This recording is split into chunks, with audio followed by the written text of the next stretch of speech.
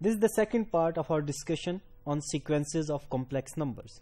So far we have defined what is a sequence of complex numbers.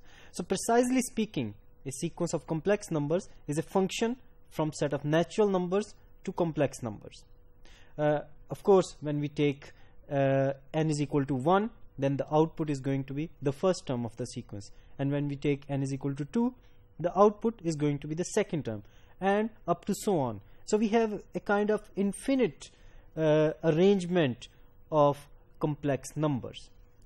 Now of course uh, a natural question would be what is the end term or what is the pattern how this pattern is approaching to some uh, uh, let's say complex numbers or uh, is it not approaching to anything? Okay so is it approaching to a fixed complex number? So this pattern if we follow this pattern of complex numbers or we are approaching to a city named infinity. So this is uh, the main point of uh, this part of the discussion on sequences. Now let's discuss this very simple example where we are taking this uh, sequence given by 1 over n.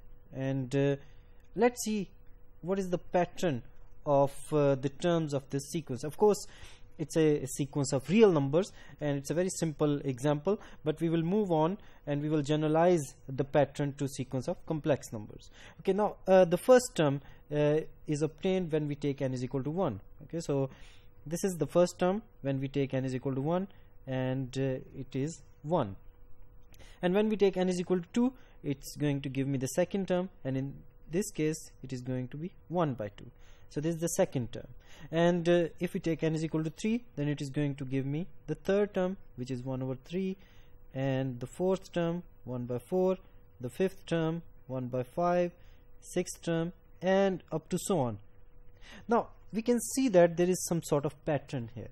So we started our journey from the number 1 and we are moving towards the origin and a good guess is that these terms are going to approach to infinity. Well i'm using the word approach here because they cannot be zero because uh, division by zero is not allowed. Okay so the terms are approaching to zero. Okay so we can we can say that uh, limit of a sequence uh, let's say zn or xn is p if the terms of the sequence are very very close to that number p when uh, we take n to be very very large. Now how close? So this is uh, the main point of the discussion. Okay so if we can understand this point then we'll be able to understand what is limit of a sequence. Okay so the question is uh, the limit of sequence xn is p. So when it is p. Okay so if the terms of the sequence are very very close to p how much close. So in fact as close as we want or arbitrarily close. Okay so that's uh, one good intuitive way of uh, considering the limit. But when we say as close we as we want then we need to define it very precisely mathematically. Okay so uh, let's go back to the same example again. It's 1 over n. Now this is 0 this is 1 the first term this is the second term up to so on. Now our guess was uh, the limit of the sequence 1 over n is 0 okay? So let's see if the terms of the sequence are as close as we want to the origin. So what do we want? So let's assume we want that the terms of the sequence are closer than let's say 0.5 okay? So the distance between 0 and the term of the sequence is less than 0.5 so what are the numbers which are uh, less than uh, which are at a distance of less than 0.5 from the origin. So it is going to be minus 0.5 and it is going to be plus 0.5 so in this blue interval uh, there are numbers which are closer than 0.5 to the origin. Okay? So now um, the terms of the sequence. So let's go back to the terms of the sequence. So this is the second term and then we move on to the third term and then we have fourth term up to so on and now we can easily see that after this 1 by 2 the terms of the sequence are closer than 0.5 now this 0.5 was a very arbitrary choice. Now let's choose another number. Let's say 0.01 okay? Or let's say 0.1 so it's going to be something like this. Now uh, the question is uh, so what are the endpoints it's minus point 0.1 to plus 0.1 now the question is are the terms of the sequence closer than uh, this distance 0.1 which we have chosen another number that we want. Okay so and the answer is of course yes if we take the terms to be uh, let's say 1 over uh, I don't know 100 or 1 over 100 by 2 so all of the terms after let's say uh, n is equal to 11 are going to be inside this thing. Okay so uh, let's see why this is true. So if we take 1 over 10 then it is going to be 0.1 and after this number so this is uh, this is this point 1 over 10 and after this point 1 over 11 is going to be inside this interval and up to so on. So all of these terms are going to be inside this interval. So it happens that uh, we chose this point 1 very arbitrarily and terms of the sequence are inside this interval now. Now let's choose another very arbitrary distance. Let's call it epsilon okay. Now uh, of course the endpoints are going to be epsilon and minus epsilon. Now the question is can we find okay so can we find uh, a number n such that the terms of the sequence are closer than epsilon.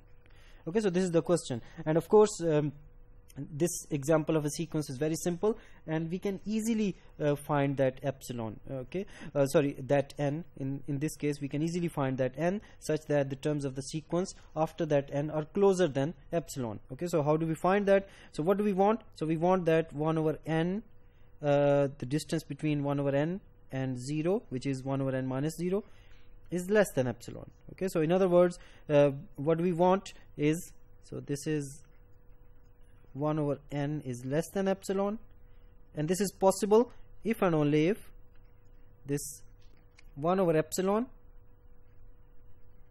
is less than n. So if we choose this n which is bigger than 1 over epsilon then all of the terms are going to be inside this interval after this value of n which is bigger than 1 over epsilon.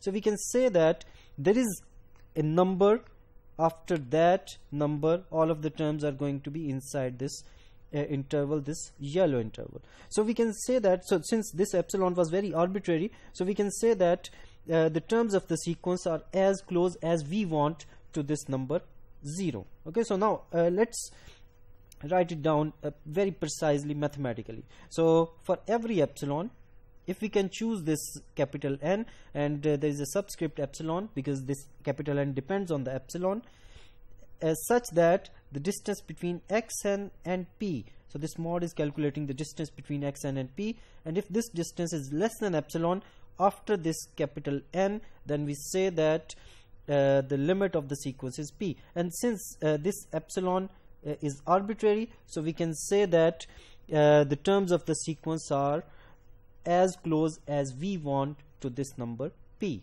Okay so that's how we define the limit of a sequence for uh, the real number case. Now let's go um, to the complex number case. So over here we can see red dots. So these are terms of the sequence and uh, we can guess that the terms of the sequence are kind of converging to this number uh, which is basically this number okay? So how do we uh, check in this case? And uh, basically the idea is going to be the same.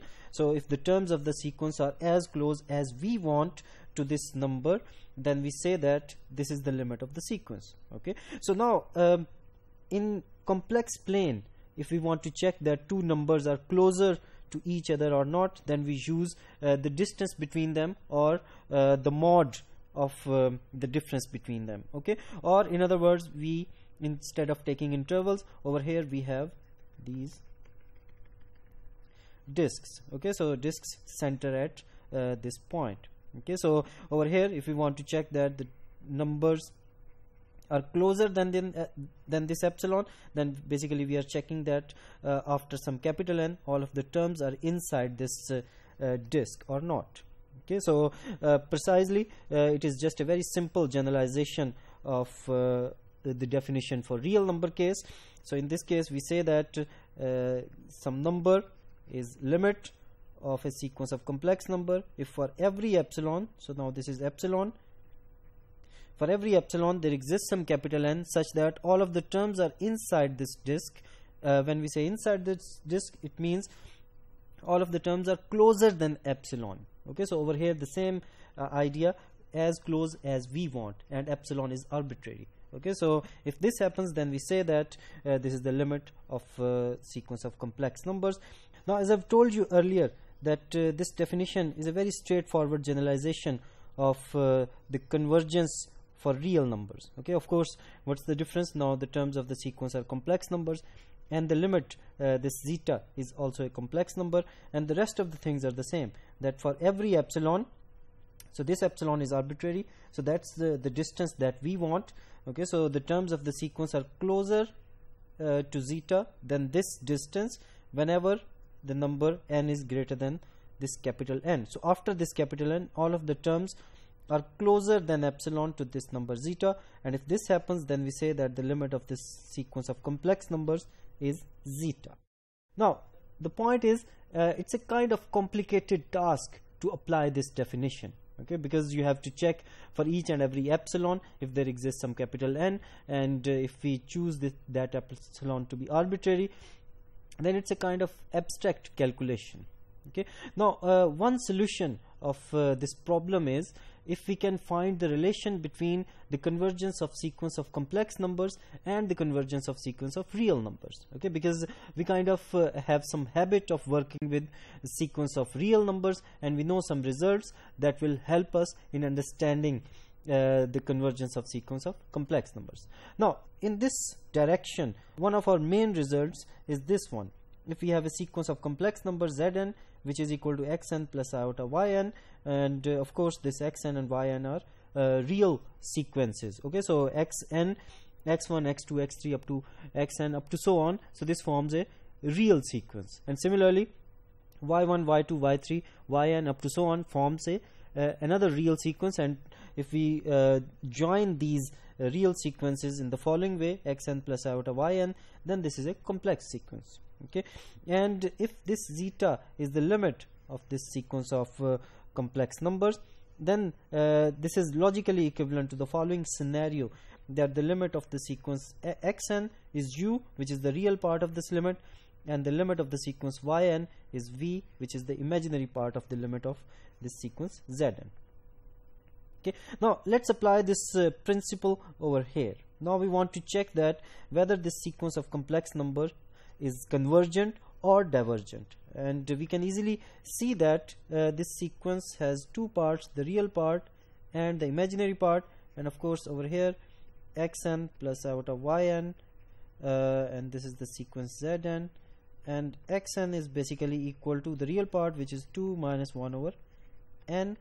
And yn is basically equal to 5 plus 1 over n okay and these are two separate uh, real sequences. Now if we want to check that what is the limit of this sequence zn then we want to calculate the limits of these two real sequences separately.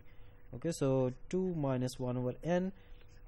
So this is going to be equal to so the limit n approaches to infinity 1 over n. We have seen it. It is 0 so it is equal to 2 and similarly when we check the limit n approaches to infinity of this yn which is basically 5 plus 1 over n and we have also seen that the limit of this sequence 1 over n is 0 so that's why this is equal to 5 so we can say that the limit of the sequence n approaches to infinity of zn is basically 2 plus iota 5 so that's how we used um, this very uh, uh, simple results of uh, real sequences and their limits to check the limit of this complex sequence now the proof uh, of this sequence is kind of straightforward.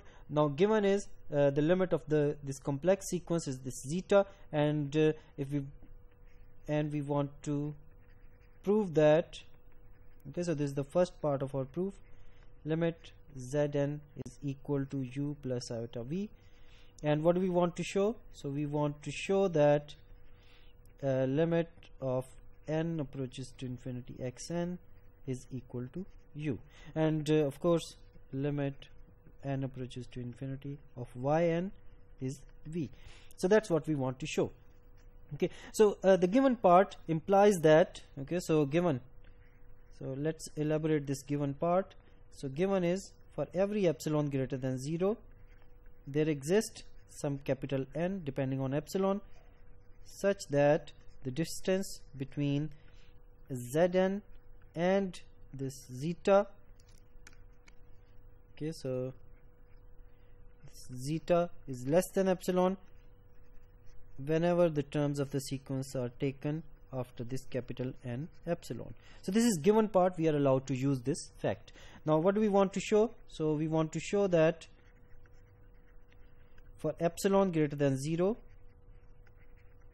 okay so this is of course another arbitrary epsilon uh, there exist some capital N epsilon uh, such that the distance between xn and, and x is less than epsilon. Uh, whenever this n is greater than or equal to epsilon and similarly for similarly for yn so that's what we want to show now uh, let's start from uh, this expression okay? So because that's what we want to show. Now uh, starting from this expression xn minus x. Now in fact this is the real part of uh, zn minus this zeta okay? And uh, we have seen that uh, the uh, the modulus of this thing is less than or equal to the modulus of zn minus zeta okay? And this thing is less than epsilon whenever this n is greater than or equal to capital N. Okay? And so uh, we have proved that x n minus x is less than epsilon whenever n is greater than or equal to capital N epsilon. Over here of course we are using that zn converges to zeta. And similarly we can prove that similarly for yn okay? And uh, the converse part for the converse part we have to assume that uh, this xn okay? So now assume that uh, xn converges to u in other words xn minus u is less than epsilon uh, whenever n is greater than or equal to let's say n epsilon. And similarly yn minus uh, v is less than epsilon whenever n is greater than or equal to some other number m epsilon. Now what we want to show? We want to show that the distance between zm and this zeta is less than epsilon. Now this is going to be equal to xn plus iota yn plus u plus iota v. And uh, of course this is not plus this is minus. And this is going to be equal to xn minus u plus iota yn minus v. Now applying this triangle inequality uh, we get xn minus u plus iota yn minus v. Now uh, this mod is multiplicative. It preserves multiplication so that's why I have separated this iota with yn minus v. The mod of iota is 1 so that's why this is less than. Now over here xn minus u is less than epsilon now if I change this to be epsilon by 2 and epsilon by 2 so that I get the answer over here to be epsilon. So this becomes epsilon by 2 epsilon by 2 which is equal to epsilon. And of course this happens whenever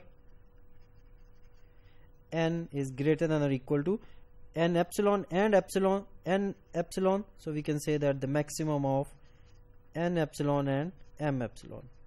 Okay so that's what it happens now in this part we have defined what is limit of a sequence and after defining it we found a relation between the limit of a complex sequence and limit of a real sequence. And this is going to help us in finding the limits of complex sequences